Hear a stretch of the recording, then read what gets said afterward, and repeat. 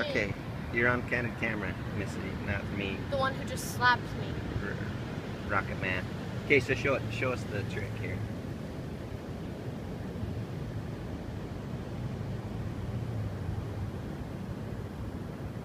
Has red eyes. Oh, really? They're calling him in. They're seeing the waves. That guy's too far out. Believe me, you. We know it, don't we, Keisha? Keisha, tell us what happened yesterday. Tell us what happened, Mama. Right on this beach. Tell them what happened. Keish. Nobody's gonna tell us what happened. They got caught in a riptide. Keisha and I got caught in a riptide right out there where that kid's going to surf right now. If Tennyson hadn't come running back in and hollering to get us taken care of, we were out there a quarter of a mile. caught in it. They're, they're caught in a riptide. But Dad's trying to teach Keisha how to get out of it. Yep. Like Oh. it was no big deal. And I went, they're caught in a riptide. And there was this kid named Jacques. Keisha told me his name was Philip, but he said it was Jacques. yeah, he told us it was Philip. That's his American. Heard us, and he said, Czech, Czech Republic. he said, if you want, I can holler at those surfers over there. And they were probably, how many yards would you say away? They were 100 yards away. 200 or more yards away. But he whistled, so I said, yeah, please do. Because I kept watching Dad and Keisha go further and further out. So he whistled, hollered at the surfers, and motioned them to go over and help Dad and Keisha that were clear over there.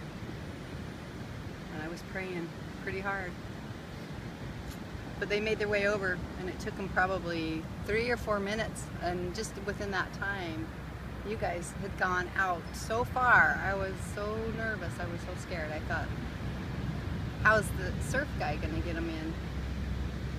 Then before I knew it, I saw him. With, I saw Keisha coming in on his board. He was. Did he? Did you get on the board right away? He got you right on the board. Dad got her on the board. You got her on the board. Keisha, were you nervous at? No. You're such a liar.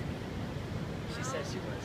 No, I'm No, she stayed calm. That's why she Stayed did calm, fine. and that's a good thing. We were out there for, what would you say, 15 Guys, minutes was trying to yesterday. figure it out? You don't have to When I came, when I came down to go swim with you guys, I had watched you for about ten or fifteen. Saw. I'm glad to have you with us still, Keisha, in spite of yourself.